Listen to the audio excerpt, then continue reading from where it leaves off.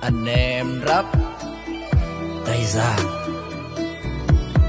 Chân ai? Phiên bản corona. Dạo gần đây tin tức hay đưa tin về corona? Ôi, xót thương dân mình. Và hình như em thấy trong vang sợ dịch bệnh. Khi đang nghi em bị cách ly một mình. Có corona.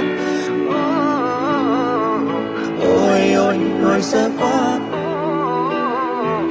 Có corona. Mau mau tránh tao ra vì corona, làm ta buồn bã.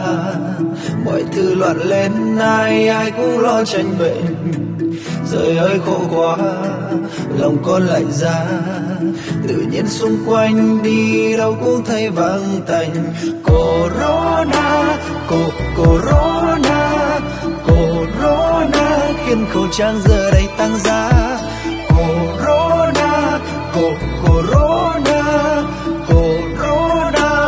làm sao để ngăn người lạ? Corona là loại dịch bệnh lạ.